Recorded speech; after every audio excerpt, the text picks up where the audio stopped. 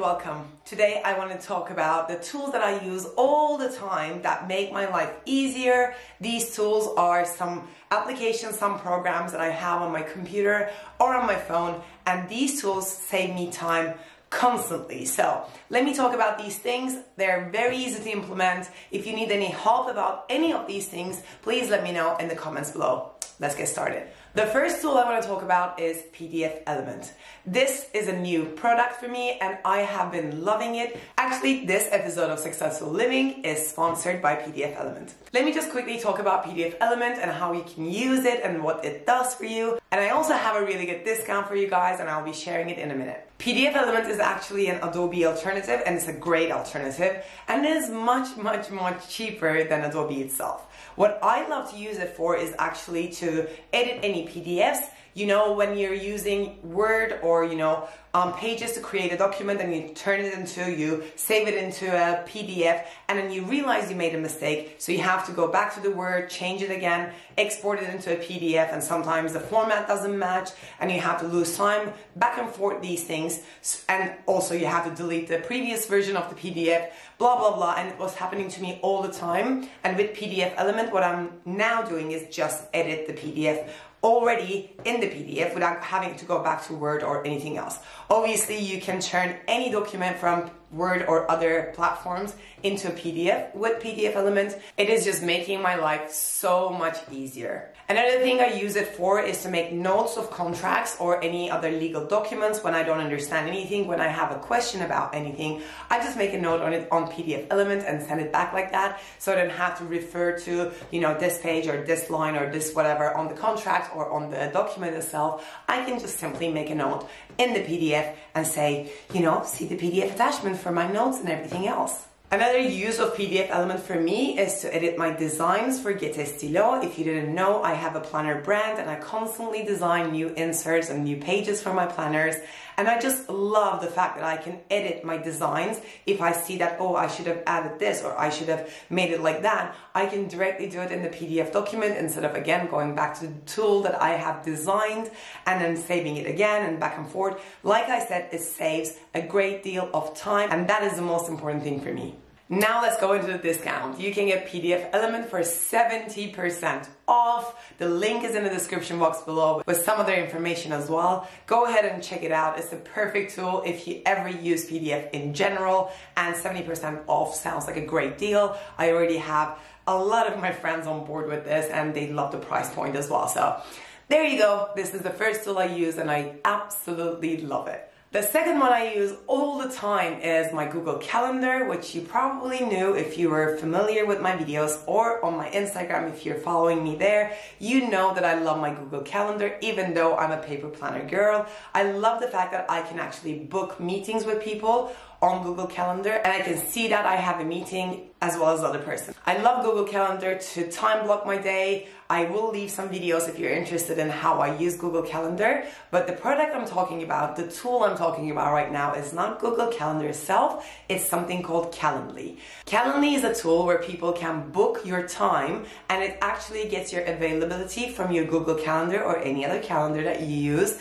And this way, I don't have to spend time on the phone or emailing back and forth with a client of mine or a friend of mine asking for the availabilities, you know, like when it happens, oh, do you want to meet next Tuesday around 2? And the person says, yeah, Tuesday's not good for me, let's do Wednesday. And you check your calendar and you're like, yeah, Wednesday doesn't work for me, what about Thursday? And this whole talk on the phone or as an email, like I said, it takes time to, to do this. Imagine if you're spending five minutes on the phone with a client to find a convenient time for a call or a meeting in general, and you do this for 10 clients a day, it's already an hour lost just to book a date, just to book a call with someone. So what I did is I introduced Calendly to my calendar and when somebody wants to book my time, like I said, especially my coaching clients, they just see my availability, go click on it and they book my time immediately there without having to contact me at all. And what I get is an email confirmation saying that I have a call with that person on that day and that is done. It simplifies everything for me. I'm thinking about putting it on my website as well actually. And also you can add it to your email signature, even in WhatsApp another tool I'm going to mention in a minute. It makes life so much easier if you have clients or if you're booking meetings and calls with other people. I highly, highly recommend checking this one out. Number three is WhatsApp business. Well, obviously, I'm going to talk about this. I don't think I've ever talked about this here, but I love WhatsApp business. And the, the perfect thing is, and I don't think many people know this, is that you can have two WhatsApp accounts in one phone. So what I have is a WhatsApp personal, the, the regular WhatsApp app for my number that I carried on from Switzerland. And all my friends and family have that phone number. And I didn't want to change the whole WhatsApp number and, you know, deal with that. And in time, I got a UK number, and that UK number is my business number, kind of. That's on my business card, and people contact me there as well. And they were automatically not adding anything to their WhatsApp accounts because naturally I don't have an account linked to that. So what I did is install WhatsApp Business on the same phone, and I have it as well on my phone at the same time as they're both active and I can separate my personal conversations and my business conversations, if that makes any sense.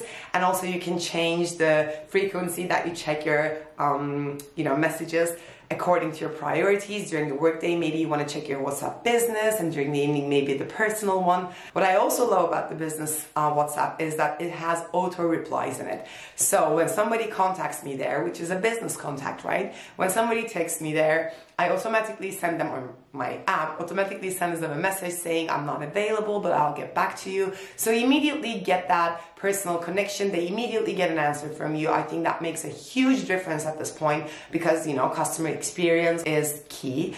And I love the fact that they you know, they can see my business website and all of those stuff. There are also quick replies that I don't use. There's also a welcome message I don't use, but just for the quick replies and just to have two different numbers of WhatsApp in your phone, one phone, is incredible to me.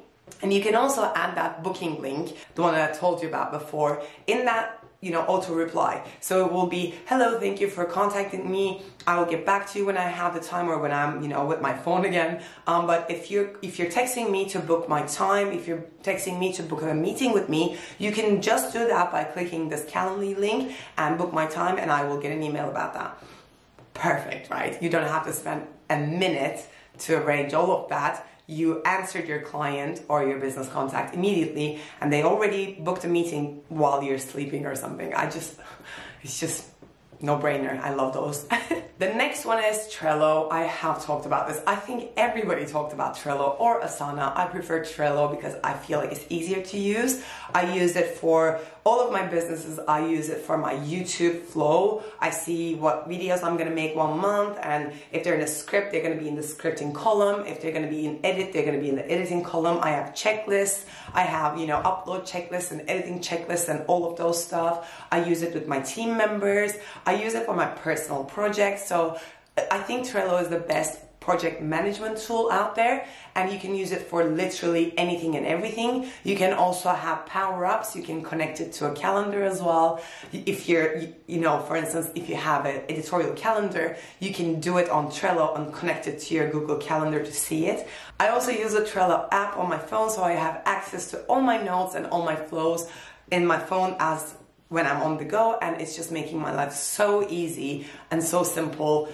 I just, yeah, another thing that I probably cannot live without at this point, but it saves me so much time. Why would I ever want to live without it? The next one is Typeform or Google Forms. I personally prefer Typeform, especially again, if you have coaching calls or client calls or anything like that you don't want to spend your time having discovery calls, like free calls with everyone. You want to understand what, where they are coming from. You want to understand your client before you get on a call with them so that you can actually, you know, direct that call better. What I use it for is that I have a link to that Typeform that I created on my website. So when somebody wants to apply for coaching with me, they have to go through those questions on my Typeform and then they submit an application. And I understand from their answers if we're a good match if we can really work together and if we then decide to you know have a free discovery call which again they book via calendly um, then i can ask questions regarding their answers. Right of course my battery had to run out when i'm filming but anyway let's continue. What i was talking about was the areas i use typeform and where you can use it as well. I love asking my subscribers on my YouTube channels or my potential customers or you know old clients and you know, anybody that are related to my businesses, I love to ask them about their experiences, what they like, what they don't like, what they want, what they don't want, and all of that stuff. And here, let me just give you a really good book recommendation. If you haven't read already, you can go and read Ask Formula because I think that book is making everybody, every business owner understand what to ask um, the you know target customers so that you understand how to, you can um, make your product a little bit better, especially for a target audience, right? So I use Typeform or again Google Form to understand that. And another thing that I use it for is when someone starts a coaching program with me, I send them a link to a Google Form that asks a bit about everything in their lives so that it's a whole analysis of their situation in life and in business at the moment because you know I talk about time management and efficiency in my coaching programs mostly and I understand where they are feeling how in their life areas and that makes me understand where we should move forward especially when I'm designing the coaching calls for them right so it is great to understand the client's needs it's great to understand you know um, if that client is a good fit for you. It's great to understand what your potential clients want from you, but also it's great to understand, you know, in general, asking questions to people, having surveys, and all of that good stuff. So Typeform is another tool that I love to use, and um, it just makes my life super, super easy. The next one is a CRM tool, so customer relationship management tool, tool, tool um, and it is called HubSpot. And I again love it for business and for personal contacts. I'm a busy person, right? And I think at this point everybody is. The the problem with being too busy is that even though you keep in touch with probably the clients and you know um, people that have an impact on your financial status maybe but it is harder to keep up with generally your friends and family, like um, distant relatives and stuff like that. At least that, that was what was happening to me.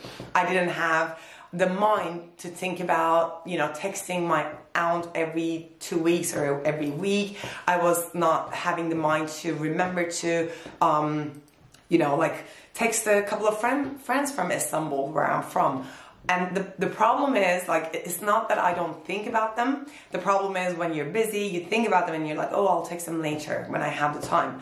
That, that never comes, you know, that never happens. Um, so what I did right now is I wrote everybody that I want to keep in touch with on my HubSpot. And again, it has an app, so it is on my phone as well. And I set task reminders. Like I want to reach out to that person every week, so remind me that every week to text them on WhatsApp or send them an email saying that I think about them. Um, and you know, like just keeping in touch with people. I feel like that is something that is becoming harder and harder every day with everything that is going on around us. And something like this, even though it sounds very, you know, um, planned, which is a good thing, but if you're someone who is constantly forgetting about, you know, reaching out and keeping keeping in touch with people, I think this is a great tool to have. You can also assign companies to those people. What I did was uh, creating a company for my friends and family, creating another company for people in that city, in that city, um, you know, just to just to have an understanding of how many people I know in that city, like in London, in Switzerland, in Zurich, um, in Istanbul, and also like just before I go to Turkey, for instance, I would like to reach out to all of these people. Um, so I have that list there. Also, business contacts, potential clients, potential partners. All of those are in companies that I've created on my HubSpot, and I keep in touch with these people constantly because HubSpot actually sends me an email reminding me to reach out. So there you go, another thing that makes my life so much easier. And this this is not something that necessarily saves time, but it I think saves relationships. And the next one is social media schedulers. Well, I have a dedicated video about this and I will leave a link to it down in the description box as well as on the right top corner if you want to watch it. The idea of this is spending half an hour a week to just schedule everything on Facebook, LinkedIn, you know, anything, any platform that you want to be active in, as well as Instagram. I, I use different things, like for instance, for Instagram, I use Planoly. I love using Facebook's own scheduling tools because also Facebook loves them, um, and they don't like really external tools like that. And something else for LinkedIn, something else for Twitter, and all of those good stuff. And instead of, again, constantly being mindful about when to post and then posting every day, just going in there, writing the caption, writing this, writing that, that down. Maybe you're in a meeting, maybe you're, you know, out, maybe you're sleeping at the time and you still want to be posting, but you don't have the mind to write the caption or you don't want to go on and, you know, create the post. It happens to me all the time. And I don't want to be constantly on my phone. I don't want to be, you know, posting on this social media account in the morning and posting in that, you know, in the evening and everything. Of course, I check my, my social media constantly, but I don't like to create content constantly because I don't feel creative constantly and I don't think anybody does really. So what I do is I sit down once a week and schedule everything for my personal brand and for my other businesses and everything as well and they just publish without me even realizing they're publishing at the end. And I think that is again time saver, mind saver. and it is perfect for anybody who doesn't like creating content and who feels the pressure of I should create content, but I don't know what to do. And I, I, have to post on Instagram now because it's such a good time to post and I don't know what to post. And let me just make a picture and then you smile like, like this and then it never works. This is perfect for you. Again, if you want the details about which programs I use, which apps I love to use, go check that video out and that will be super helpful. I am sure about it. So this is it from me. I think these are pretty much um, my favorite tools that I use um, that save, saves me time. And I am so super curious about your favorite tools. If you have anything like this that makes your life easier, please share them with me because you will be helping me out and probably everybody in the comment section as well. So if there is anything that you love using for saving time or making your life easy, let us know in the comments below. And let me know which one of these you use and which one of these sounded really good and you'll give it a try. Don't forget to check out PDF Elements and get your 70% discount as well through the link down in the description box below. And I'll see you in my next time management, efficiency, entrepreneurship, and generally living a successful life video. Thank you so much for watching and if you enjoyed the video please consider subscribing here and also before you go I think these two videos will be perfect for you to watch after this one so make sure that you check them out as well. Thank you and see you next time. Bye.